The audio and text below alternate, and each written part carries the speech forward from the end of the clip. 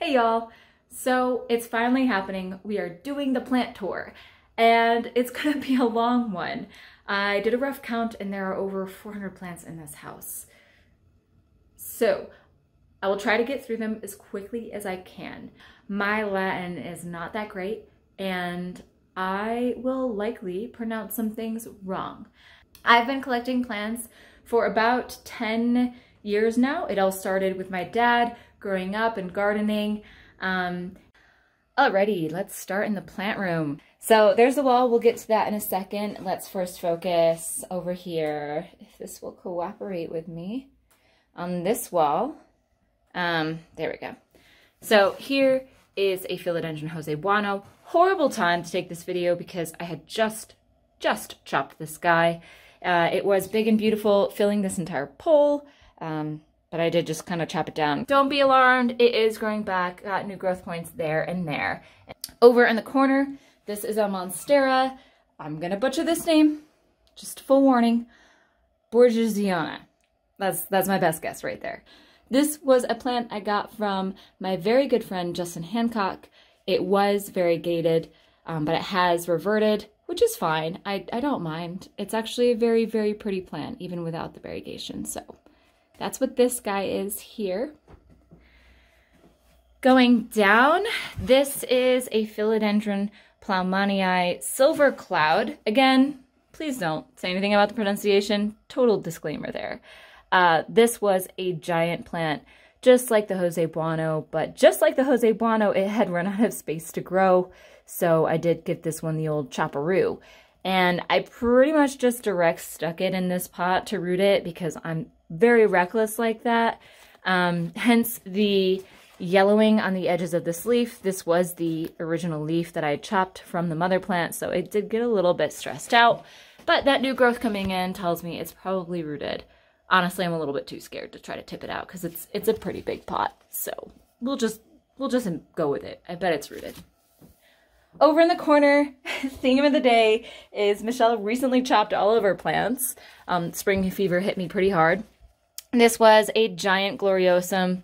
Um, it's still pretty good. It's, you know, it's still holding in there pretty strong, but it, it doesn't really give it a lot of, it doesn't do it justice. It was very beautiful beforehand, before I came at it with a pair of scissors. Here you can see it's starting to pop out new growth, um, two new grow points, actually. So this guy is off and running again. Again, I had to chop it. It ran out of space to grow in the pot.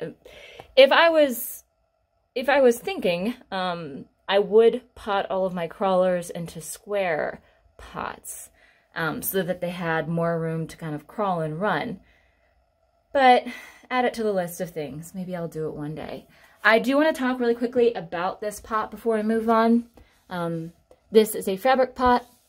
I really like growing in the fabric pots. See if we can get a better look at it. It's pretty dirty down there. There's a lot of dirt in here.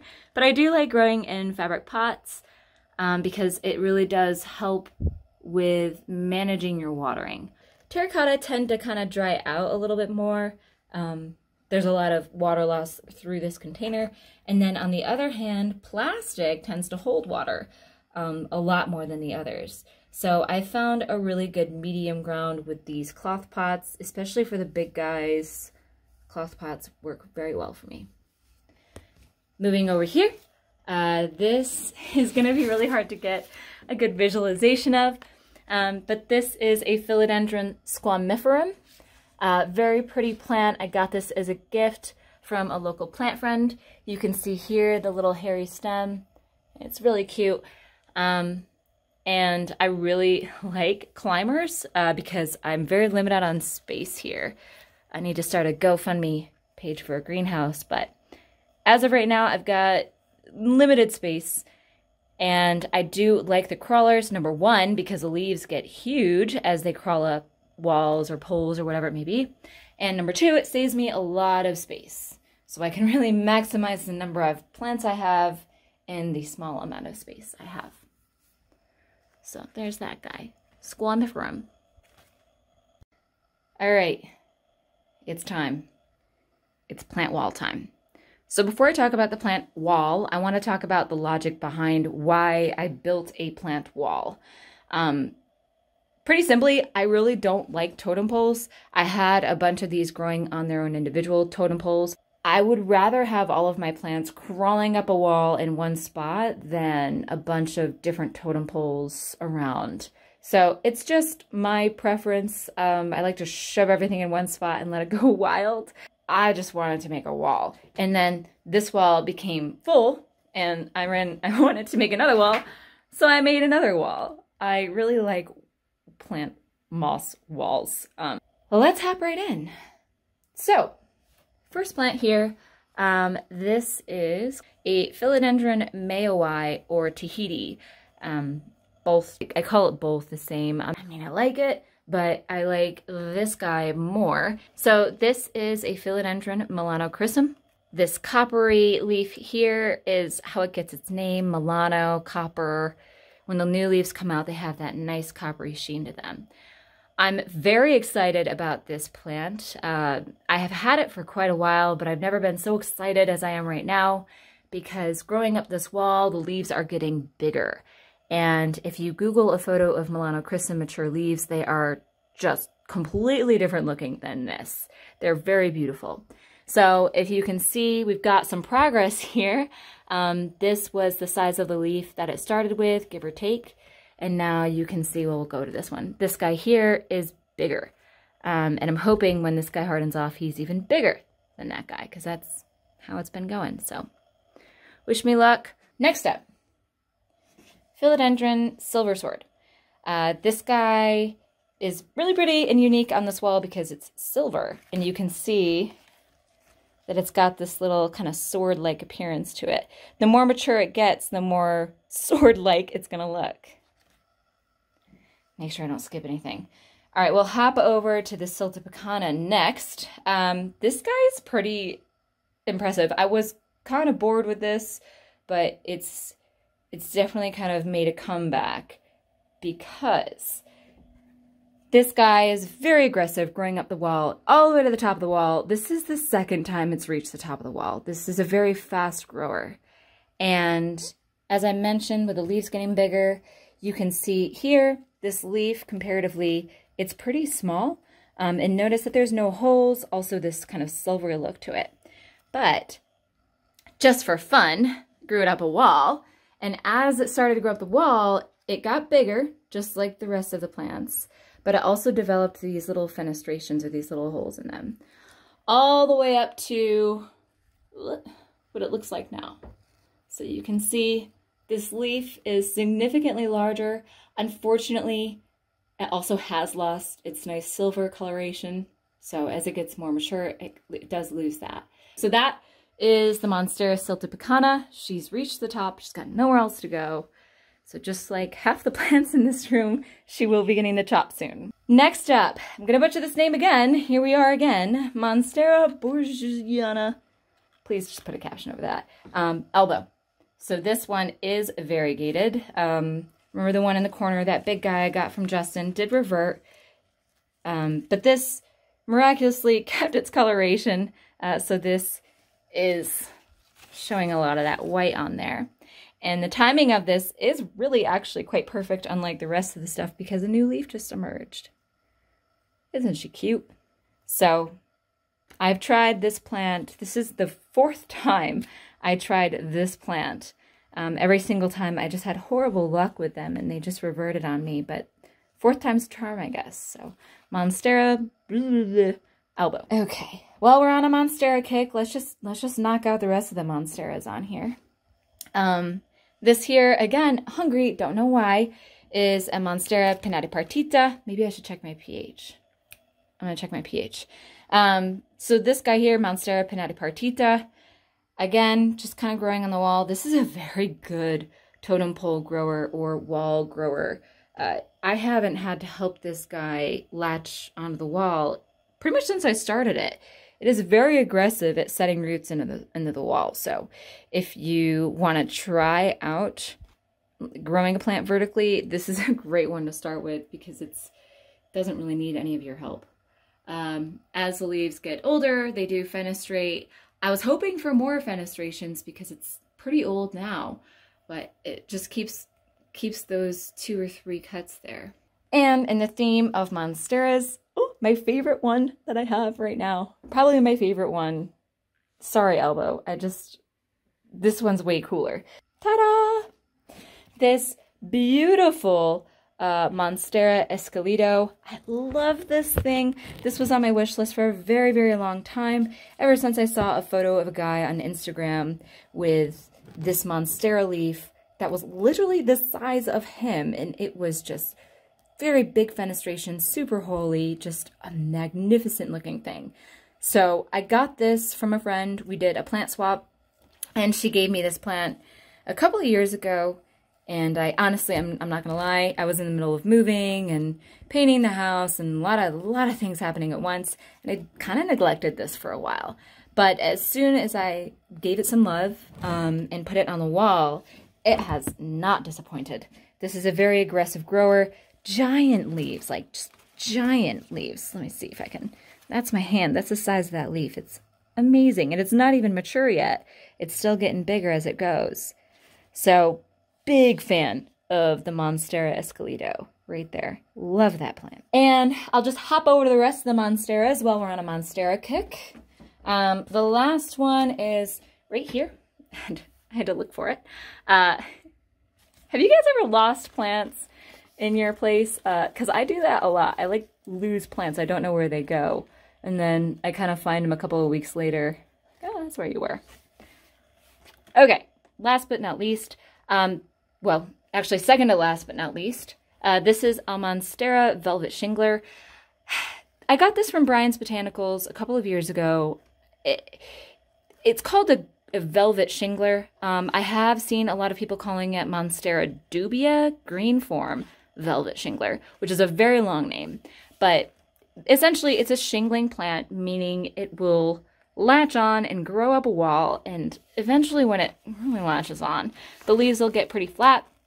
And it has this like super cool painted on kind of look when it lashes onto a wall.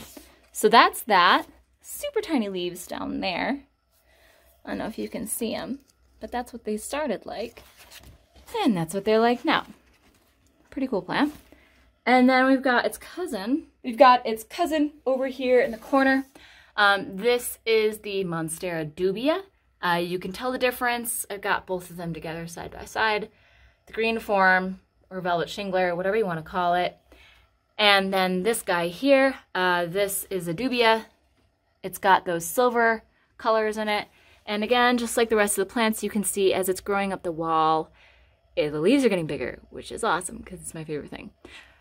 Um, one thing to note, I did, I do love shinglers so much, um, but I've noticed that they, they kind of look better when they grow on a flat surface instead of the moss wall.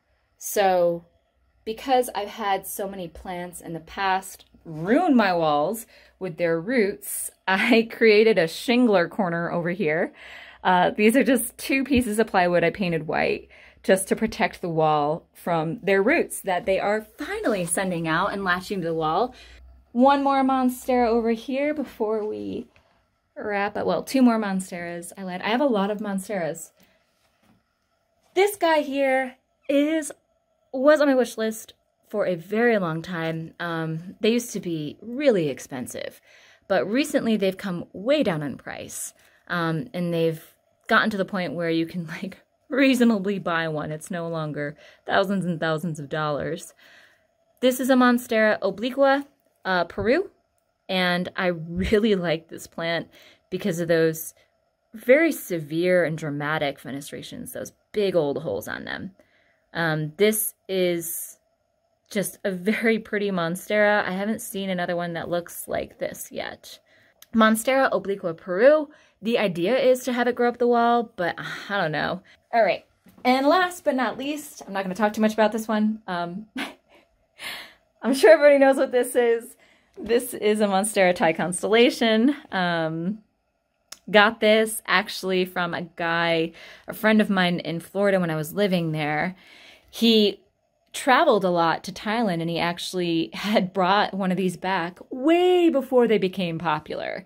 Like he did like way before. We're talking like a decade before they became popular. And um, for a very long time, ever since I'd, you know, lived in Florida and I'd been visiting his property. I asked him, like, are you ever going to cut that up? Can I have a piece? And finally, finally, um, one time he said yes. And he gave me like a tiny one little leaf cutting. Um, and I, I flew with it on the airplane, had it in my lap the whole time. And now, well, now I've got a bunch of ties. So that's that. Not going to talk more about that one. We'll move on to my top five. I hate to say anything is my favorite plant because that changes every week. I have a different plant, a different favorite plant. This one's up there though. This one's been up there for a very long time. Both of these two have been up on my favorite list for a very long time. This guy here is a Philodendron Splendid. It is a cross between this puppy, which is a Philodendron verrucosum, and this guy right here, the Philodendron melanochrysum. So this guy and this guy made a baby, and this is what it looks like. It's a very pretty plant. Again, a pretty aggressive grower up the wall. I really like the velvety leaves, especially the new ones when they come out and they have that nice melanochrysum coppery tone to them. Now that it's summer and it's really warm in here, um, I imagine he'll grow even faster. So that's that new leaf. Take a look at the, the mature, the hardened off leaf. That's what that guy looks like. And then over here, this, as I had mentioned, is the Philodendron verrucosum. Uh, really cool thing about this plant, do you see that little fuzzy petiole? That little fuzzy bit right there. Um, and then if you look at it from the back, it's got a bunch of red markations in between the veins. It's, it's very pretty. This is a Philodendron verrucosum redback. This has been a plant that has given me a lot of joy. I was searching for this plant for a couple of years back when I started my collection. I would guess I started it in like 2016, 2017. I was looking for this plant and in the beginning it was really difficult to find this plant. Um, now it's not as difficult to find it. But back then uh, I went to a Fairchild Spring Fair with Justin Hancock, my plant friend, and um, there was a lady there who was selling the verrucosums, and I just jumped on it. I remember I had I had Justin guard the verrucosum for me while I ran to the ATM machine because I didn't bring cash. I don't know what I was thinking, but I ran to the or the uh, ATM machine to get cash for this thing and I had Justin kind of hold it for me uh, while I was going to get money. So from day one, I guess I was a little crazy. Um, this guy is special. I have three of these actually growing on the wall. One, one, we'll just call that, where's the second one? It's so hard to see them all. Two in there, and then my third one over here. So I do have three of these. Clearly, this is one of my favorites. I didn't really expect the leaves to get much bigger on this as it grew up the wall, um, because there are there is a maximum point that leaves grow. I mean, they don't get like they don't just get bigger and bigger and bigger indefinitely. And this guy had already had pretty mature leaves, I thought, but this kind of made me question um, how much bigger these leaves could get there's one, this is the one plant that's popping out giant leaves. The others are not for some reason, but this, one of the three plants, is just massive leaves. So we will see if it gets bigger, uh, smaller, if it stays, it stays the same. I mean, I'd be happy if it stays the same because this is big. Okay. That's it for... Oh! no, pump fake. It's not it for this side of the wall. I always forget, I've got a plant buried back here. Actually, let me, there we go. Um, I always forget about this guy. This is a um, Rhaphidophora cryptantha. Almost blanked on the name there. And originally, when I put this wall together, this was the plant that was outgrowing all of the other plants.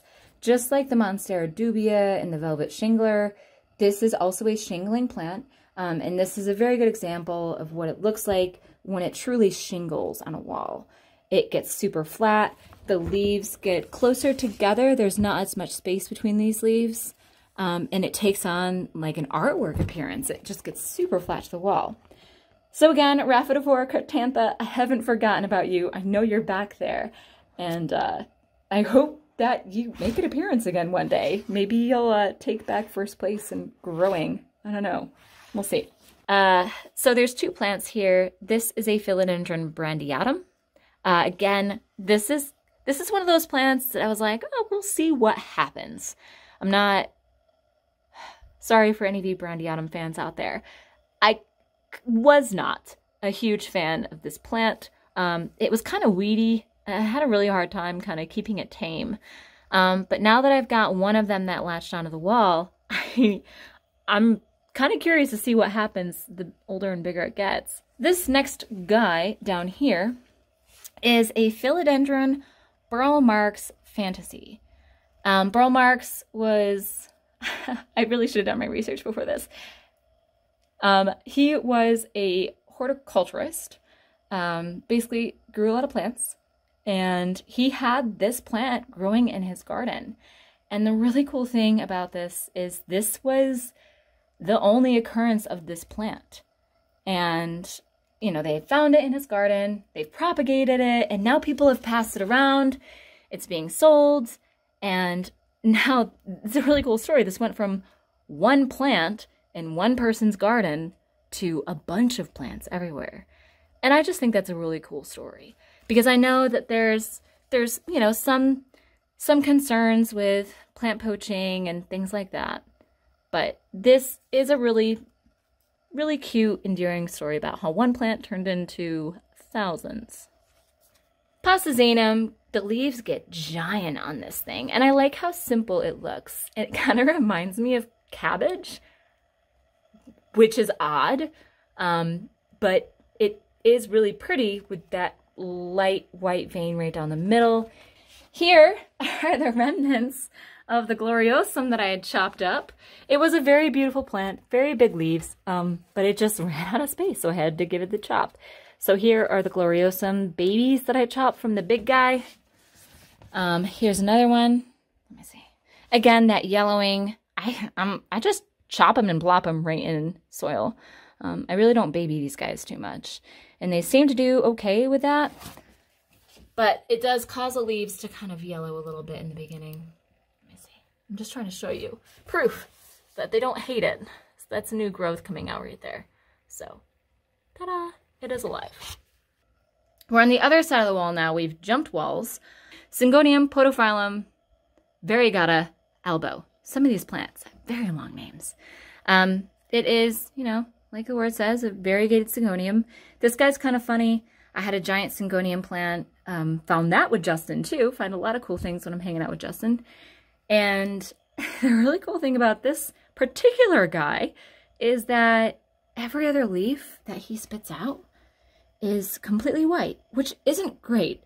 You don't want a lot of white leaves because there's no photosynthesis going on there. They're pretty much just dead weight. Um, and oftentimes they don't really survive that long. They kind of tend to crinkle up and get brown. So, I mean, you don't really want a lot, of, a lot of pure white leaves, but this guy Every other leaf it pops out is white. I don't know why. At least I can say has very strong variegation. But that's that guy. Philodendron elegans. Um, this is a young elegans. I hope. I do question this. Um, I won't, I don't really know. It came to me as an elegans, but now I'm kind of questioning if it is or is not. Elegans have very severely cut leaves um, and they look very pointy when they mature. So it's hard to tell. This one's pretty new. I got this guy at the same time as this from the same local plant friend. So we will see what it turns into. But that's Philodendron elegans. Down here, buried, already buried in this brand new wall, uh, this is a Philodendron Paraíso Verde. And it, I got it from a local girl here in Asheville. It's got these beautiful little froggy kind of looking finis or um, variegation on it. You can see in the light like that. So super excited. This plant took a very long time. I got it very lightly rooted, um, so I had to root it for a while before I put it in this pot. And I'm a little bit scared that it reverted. You can see this new growth coming out doesn't have those little splashes on it, so Fingers crossed. We'll see. Time will tell. Next up, um, Epipremnum skeleton key. Basically like a pothos um, skeleton key. And it doesn't look very skeleton right now uh, because I've had this plant in a basket for a few years. Um, I got this when I got the Verrucosum with uh, Justin at the plant fair in Fairchild. And um, I honestly, I haven't done this plant justice. I've kind of put it in a pot and ignored it.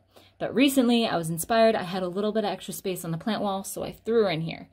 And maybe um, we can put a video on here or a, a, a screenshot of a mature skeleton key leaf.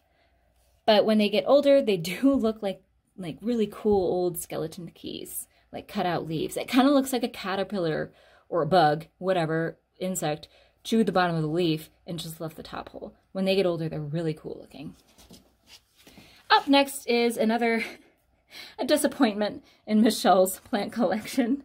Um, this was, still kind of is, a variegated Adansonii, but just like with the Albo, the Monstera borgiana, whatever you want to say it, Albo, this guy is also reverted. I tried to re-revert it by cutting it and chopping it. Um, sometimes that can help kind of jumpstart the, the variegation again. And I was hopeful because you see that guy did, but it, it looks like it's gone already. So this is not a very stable plant. Um, but that's what that was. I had high hopes for it. I'm kind of giving up. We've already gone over the obliqua. Such a cool plant. Here is, yeah, there we go. A philodendron strawberry shake. Um, I got this from a local plant friend. Um, a lot of my local friends are plant people. Go figure. And uh, got this from her. And, you know, I, I, honestly, I was kind of like, all right, fine, I'll get it. I don't, it wasn't huge on my wish list, but it has definitely impressed me with those different colored variegations on the leaves. So, philodendron, strawberry shake. And last but not least on the wall is a pretty, I think a lot of people probably know this one. This is a philodendron micans. Typically you see these in hanging baskets kind of trailing down. But again, I kind of wanted to see what it would look like with bigger leaves. So started this a little while ago and to be determined what it turns into when it gets mature. So far, this guy is growing faster than any of the others, so it's looking pretty optimistic for him. Okay. That was the plant wall. Walls. I guess we'll move on now to the shelf. We're going to start with this big boy. Um, this video does not do it justice. Uh, this is, there we go. This is an Anthurium Faustino's Giant. I have no idea where I got this. I think I got this at Fairchild a few years back. This is a giant plant. Um, and every leaf that comes out is just bigger and bigger. Super cool Anthurium. Um, just make sure if you get this that you have a lot of space for it. Definitely time to repot this big boy. It has been in this pot pretty much since I got it years ago. Um, I'm a little bit afraid to see, oh, what it looks like. I may have to smash this pot with a hammer to get this plant out. All right, we'll hop through all the plants on the bottom shelf real quickly, hopefully. Uh, Philodendron gloriosum, we've seen him before. This is a little version of the big guy cut over there, one of its many, many, many, many offspring. This is an Anthurium chamberlainii or chamberlainii. Again, pronunciation Latin is not my thing. Uh, this is a really cool Anthurium. I'm glad I bought it. Um, over here in the corner uh, is an Anthurium crystallinum. I'm not going to be able to get really good uh, photos of these individual plants because everyone is kind of crammed in here, but I will do my best. Anthurium crystallinum, which is different than the, oh my goodness, Anthurium clarinervium here. Over in the corner, uh, there we go. This is a philodendron ring of fire. Uh, it is, you know, another variegated philodendron. Got various colors on it. It's got that reddish look and the white to it. So that is the ring of fire. Okay, so let's get cracking. Middle shelf time. The Goldilocks shelf. Not too big, not too small. First up is, I'm going to botch the name on this one. I think everybody does though, in my, and to be fair. This is a Philodendron Wurzelwixii. It's my best guess. Um, this is immature right now. It doesn't have its fenestrated leaves, but as it gets older, just like the elegans, it gets those really big, severe cuts in the leaves. It's really pretty. Um, but this is a young pup right here. This, you know, and the topic of hybrid anthuriums, this is a mystery. Um, it came as an ace of spades from Indonesia, but I think it is definitely an ace hybrid. The question is, what is it hybridized with? Um, my best guess is a magnificum because as these leaves grow and as this plant gets larger, the leaves get massive. So I think my best guess, an ace of spades magnificum hybrid right here. But with anthuriums, I mean, who can tell anymore? Okay, over here, this is an alocasia nebula. Looks like that new leaf came out a little little, little weird right there. Uh, this I thought was dead. I had given up on this plant. Um, and then all of a sudden, like, like a little daisy in the spring, it popped out of the soil. And here it is. So this here, um, this is an Anthurium radicans dressleri. Again, probably botched the name. Um, this is another plant that's kind of gone in and out of being happy and unhappy. Uh, but it does have that really cool bumpy foliage on it. So, Radicans dressleri. Here I've got a baby crystallinum. Isn't she so cute? I love those little plants. This is an Amydrium silver. There you go. I, I, I, I spit it out. That's what that is. And the leaves, as they get older, kind of cut more and develop more fenestrations, more holes in them. This is a fairly new plant. I, I mean, I've had it for a little while now, um, but not nearly as long as my other plants. Pretty excited to watch this one grow. It may go on the wall. Another hard one to pronounce. Um, Cercestis mirabilis. This I got from Indonesia not too long ago. This has been on my list of items that I have wanted for a very long time, and it is so pretty. I have zero regrets getting this plant. Um, my friend actually, she actually bought it for me. It was a gift. So thank you. It's really nice to have good plant friends. I'll just say these are hopeful future plants. Um, fingers crossed that they root and they survive. I've got an El Choco in there. I've got a, I'm going to butcher the name on this, um, Joepii, uh, and a variegated Lechleriana um, Monstera Lechleriana variegated. I've got a couple of um, luxurians in there, philodendron luxurians in there. Um, I have an anthurium luxurian in there, which is very confusing when you first start a philodendron and an anthurium luxurian. They're both pretty cool plants. Um, I've got more Clarinervium babies, um, and I also have um, Pothos barberianus Gonna have to put the name on there for that one.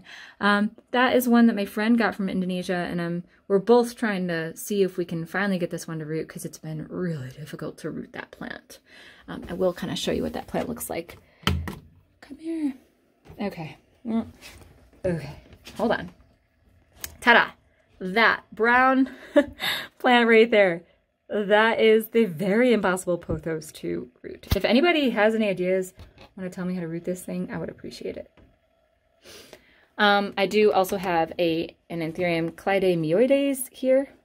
Um, this took months to root, and I honestly was very afraid it wouldn't make it, but it has finally rooted. This is a new leaf that I had popped out. It's working on another one. So I'm I'm so scared of losing this plant because it's been months. I just won't take it out. I'm just going to leave it there until I'm confident that it won't die on me because that was a very hard one to root. Okay. And here we have the babies. Super exciting. Um, these are my little Clarinervium babies that I put so much love into.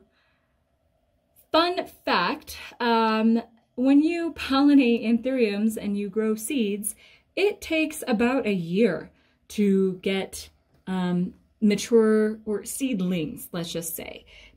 Um, this These plants are very near and dear to me. Uh, there's a very special story behind these guys here. Uh, so here's a little baby Clarinervium. Story is, I decided to pollinate this plant um, right around the time I found out my sister was pregnant, which was really cool. Um, so I pollinated it when I found out she was pregnant, and it took the entire duration of her pregnancy, a human gestation period, for these seeds to ripen on the flower to the point where I could harvest the seeds and plant them. And at that time, my sister gave birth to my niece, June. So this plant is about the same, you know, this plant has followed my niece, June, pretty much step by step. It started at the same time she started, so to say, um, and then I planted it and started growing it right about the time she, she kind of came out on this earth. So these are all very near and dear to me. Every single person in my family has one of these. I call them my little June plants.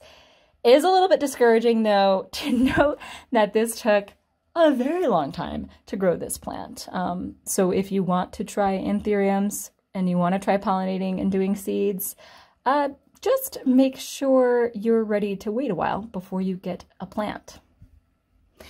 For the record, June, my niece, is way bigger than these plants are. She's growing much faster than they are. Okay, on the top of the stairs here is an Alocasia Regal Shields. I really like this plant. Very pretty plant because it's got those pretty um, dramatic veins on the back of its leaf. And it's got this like red hue to the back of the leaf. It's a cool, it's a cool Alocasia hopefully it can remain spider mite free. Set the standard now. Um, pretty view. Okay. And then we're just gonna hop right back into all of it. This is a Rhaphidophora decursiva, mature form, uh, very mature form. Another plant that Justin and I found together at like a little tiny jungle.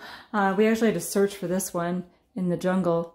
Um, probably needs water, but you can see the leaves on this are giant, about the size of, well, my arm, if I can fit my arm in there. Really big leaves, essentially. That's all we need to know. Just giant leaves on this guy. Over here, let me shift my angle. So this is a Costa Farms plant, which I got when they went, as soon as the uh, Costa Farms Online launched, this is the first plant I got. Um, this is one that I'd had my eye on for a few years. Uh, it is a caladium or a xanthosoma, whatever you want to call it, lindenii. And, well, this guy is growing really well. I can't take all the credit. I did have somebody grow it for me um, most of the way, so I definitely cannot take all the credit on how much this one's grown. Um, but it is a really beautiful plant. And so far pretty easy. So far. And then down here uh, calathea orbifolia this is a plant that I had wanted for a while. I got it a couple of years ago. There's something so cool about those soft looking leaves. This I have, I am so sorry. I have, I have done this plant wrong. Um, this is a Scindapsus moonlight. I was very excited for this plant. Again, another one I purchased right as soon as Costa la launched its online site. This is one that I like immediately purchased. I did it wrong um, because, well, it got really big in the pot. Um, and I didn't repot it for a while, for a very long while. And it got severely root bound. I mean, I've never had a plant that got that root bound before. So it's struggling a little bit and that is completely on me. and not re not repotting it soon enough. Um, it is worth noting the podcast episode where Jess and I talked about when to kind of tease out the roots. This was definitely a situation where I tried to tease out the roots um, because when I pulled it out of the pot, it was a brick of roots. And in that kind of situation, you do want to kind of tease them out. Um, so I do apologize, my moonlight. I hope you recover in your nice and roomy pot here. I don't really love this plant. Um, this is the only pole I have left. It is one of Michelle's oh, kind of ad hoc, don't want to build a whole moss pole because I don't have enough moss moss poles. Um, I put wood behind it, moss in the front of it, fishing wire around, call it a day. This poor sucker here that I've shoved into a dark corner and kind of uh, just let him grow. If he still grows, just kind of forgotten about him. This is a philodendron camposportianum. Um, I got this, actually, it was misidentified um, from somebody as a Micans, um, but it ended up being a Campo. Uh, the reason I know um, with certainty is because right now it does kind of look like a Micans. It's got that velvety leaf to it. Um, but as it grows up and the leaves get larger, they actually lose this velvet and they they kind of get like an arrow shape to them for lack of a better lack of a better description. Um, and they turn from this like purplish to a green um, and they lose that velvety look. So right now this guy's pretty mature. I chopped him way down. This is another very aggressive grower. I've chopped him. He's reached the top of the pole, I would say at least five times now. And I've had to chop him back down. Very, very, very aggressive plant. And at this point, I'm just kind of shoved him over there and I'll, I'll deal with him later. First of all, hi cat. This is the spare bedroom and every single room in the house is filled with plants. Um, so we'll start here. Calathea rattlesnake. Love this plant. Um, if you can't tell, it's doing very, very well. I have given it a lot of tender love and care throughout the years. Had it for quite a few years now. Um, and this is just a plant that does not disappoint. Those leaves are just so pretty on this plant. Like all the other calatheas, Probably has a couple of spider mites hidden in there. I can't be sure. Um, but unlike the other calatheas, this seems to be a little bit more durable than um, the others. Highly recommend this plant. Love this plant. Here is another calathea, uh, which is very cool. It's really hard to show it in the video, but the texture of this is probably like the softest texture I've ever felt on a leaf. Um, it's very velvety, very fuzzy. Uh, this is called a Calathea Warscewiczii, just like the philodendron, probably probably pronouncing it wrong. Uh, very velvety leaves. Again, just like the Orbifolia, this unfortunate soul was on the wrong side of the lawnmower um, when I could not get it to turn off, and I imagine that's why it's got all these brown edges here. So if I had a recommendation for calatheas, don't put them next to a lawnmower with hot fumes that cannot shut off. Um, and also, just don't ever move them. Um, if they're growing, don't move them. They do not like change. All right, over in this section here, I've got my little wall of bops or bird of paradise. I really like this plant. Um, they just are so easy and they're so pretty. Um, I think that they're really nice looking design plants for in a home. This guy's pretty funny. Um, these were all outdoors in the summer. They will likely go outdoors very soon. Um, but over the winter, this guy kind of shot up a new leaf. Like, hey, I'm an adult now. Um, so pretty cool. I like bird, bird of paradise, or bops as I call them. Um, this plant in the corner. Um, nobody leaves baby in the corner, but this guy is in the corner. It is okay that he is in the corner, though. This is a ponytail palm. Uh, very easy plant. Uh, this guy is actually pretty special because when I started at Costa Farms, oh gosh, eight years ago, um, this was my first plant. I remember we had an orientation where we spent a week or a couple of days um, going over, you know, what all the departments were at Costa and who is in the departments, and a representative from each department would come and kind of talk to us about what the they do, you know, because there's a lot of departments. And uh, at the end of orientation, uh, we all got little plants. Um, they were bonsais. I chose this bonsai. I kind of knew that a ponytail palm would be a very durable plant, and I was not disappointed. It has done very well in eight years, especially considering the mealybug outbreak of 2018 that I had on these plants. Um, it has really done very well and again very sentimental my first ever plant from costa and basically like this plant is when i i got it when i started at costa eight years ago moving up okay we've got a little philodendron wall i'm not going to crawl in the bed and go over every one of these i'll just kind of point to them that is a philodendron brazil that is an epipremnum Pinnatum, skeleton key, again, without the skeleton lux, because I've thrown it in a pot and let it trail down for years. Uh, over there is a Pothos Manjula that is reverting right there. And then over there is another Pothos Manjula that is not reverting. So yay. I've got a giant cactus in this room. Um, I really like giant cactus. And I want to say I love this plant, but when I was moving, um, this was a very difficult plant to move. It is taller than I am, um, and it is very unstable. It rocks a lot, and it's got some pretty severe spines on it. When I moved, I had to wrap this puppy up in newspaper, bubble wrap, and then cardboard. And still, somehow, through all of that, it stabbed me multiple times. So I'm not, I mean, I love this plant, but it will never move. It will stay there for the rest of its life. Even though you can see, let me see, right here, it is etiolating, meaning it's not getting enough sun and it's getting really skinny right there. It's just going to have to deal with it because I just, I'm so tired of getting stabbed by this plant. Love giant cacti. Hate getting stabbed by them.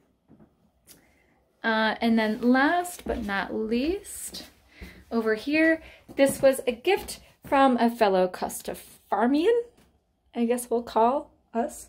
Um, this is an Amazon lily that I got from Jose Maldonado because he knows I love plants. So she's still alive, Jose. Thank you. That's it for the guest bedroom plus cats. Oh, lies. I like cacti. I cannot tell you what any of these cacti are. I'm not a cacti expert, um, but I do like them and I like to collect them. However, I do uh, neglect them. If you can see, I've got two that are currently hitting um, the ceiling. So I probably should have moved those a little while ago, um, but I didn't. I got a couple hundred plants. I can't, I can't, I can't be particular about all of them. Okay, we are done with the upstairs. Woohoo!